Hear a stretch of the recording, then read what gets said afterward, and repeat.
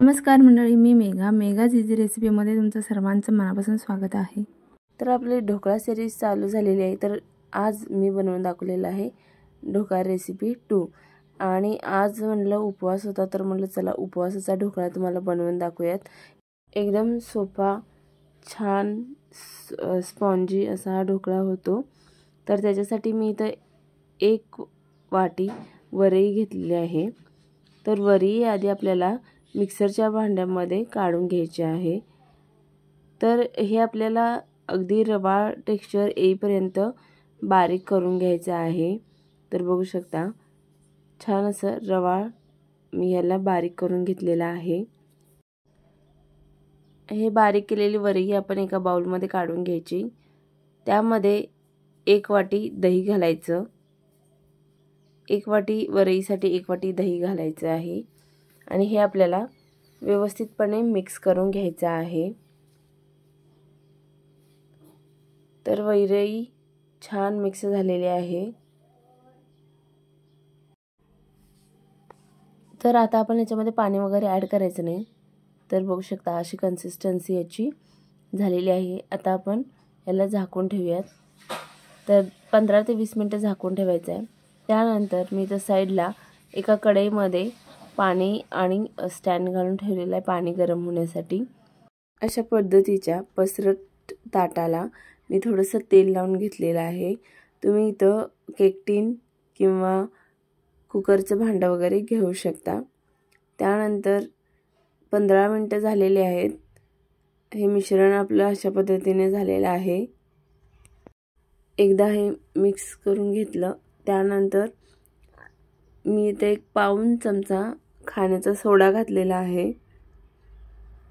आणि कन्सिस्टन्सी पण थोडीशी ॲडजस्ट करायची आहे म्हणून एक तीन चार चमचे पाणी घालून घेतले. आता हे व्यवस्थित आपल्याला मिक्स करून घ्यायचं आहे. आता आपण ह्याच्यामध्ये सोडा घातला आहे त्याच्यामुळे हे एका साईडने फिरवून मिक्स करून घ्यायचं व्यवस्थित. बॅटर आपलं मस्त फुलायला लागलेलं आहे. तेल लावून घेतलेल्या ताटामध्ये आपल्याला हे आता काढून घ्यायचं आहे. तर ही प्रोसेस पटकन करायची. त्याच्यासाठी आधी जे काही भांडं आपण वापरणार आहे त्याला तेल वगैरे लावून घ्यायचं. जास्त वेळ ठेवलं की मग ते बबल जे आहेत जाळी जे निर्माण होणार आहे ते नंतर होत नाही. थोडंसं टॅप टॅप करून घ्यायचं म्हणजे जे काय हवं आहे ते निघून जाईल. त्यानंतर मोठ्या गॅसवरती आपल्याला हे दहा ते बारा मिनटं शिजवून घ्यायचं आहे. तर गॅस मोठा असावा जेणेकरून आपला ढोकळा छान फुलेल. इथं आता बारा मिनटं झालेली आहेत. तर बघू शकता ढोकळा छान फुललेला आहे. मी आधी चेक करते की ढोकळा आतपर्यंत शिजला आहे की नाही. तुरी क्लीन आली म्हणजे आपला ढोकळा शिजलेला आहे. ढोकळा आता थंड झालेला आहे. आपण आता कट करून घेऊयात.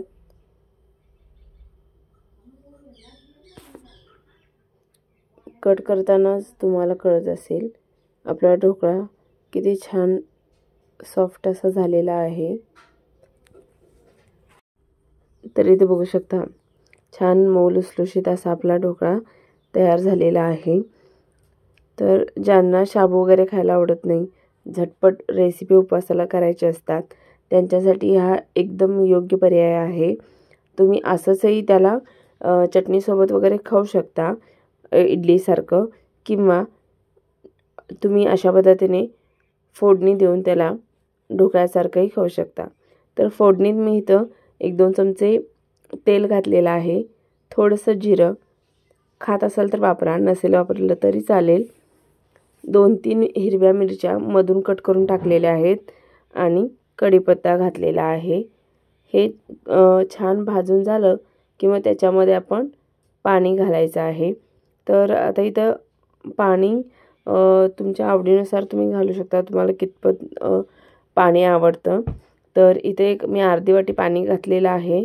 दोन चमचे साखर आणि सोबतच थोडंसं मीठ घातलेलं आहे. मीठ इथं चवीनुसार वापरायचं आहे. आणि आपण दही घातलं आहे त्यामुळं लिंबू वगैरे नाही घातला तर चालू शकतं. कारण आधीच आपल्या ढोकळ्याला आंबट थोडी चव आहे. जर तुम्हाला जास्त आंबट वगैरे आवडत असेल तर तुम्ही इथं अर्धा चमचा लिंबूचा रस घालायचा आणि अजून थोडंसं गोड हवं असेल तर एक चमचा साखर घालायची. हे सर्व बॅटर उकळल्यानंतर ढोकळ्यावर ते टाकून घ्यायचं आहे. हे पाणी छान मुरू द्यायचं. तर जितकं पाणी घालाल तितकं हे अजून सॉफ्ट अजून स्पॉन्जाने छान लागतं. तर अशा पद्धतीने आपला उपवासाचा ढोकळा तयार झालेला आहे. रेसिपी आवडली असेल तर लाईक करा आणि चॅनलला सबस्क्राईब करायला विसरू नका. आणि अशाच खूप साऱ्या उपवासाच्या रेसिपी मी आपल्या चॅनलवर अपलोड केलेल्या आहेत त्यासुद्धा जाऊन नक्की चेक करा. तर चला टेस्ट करून बघूया.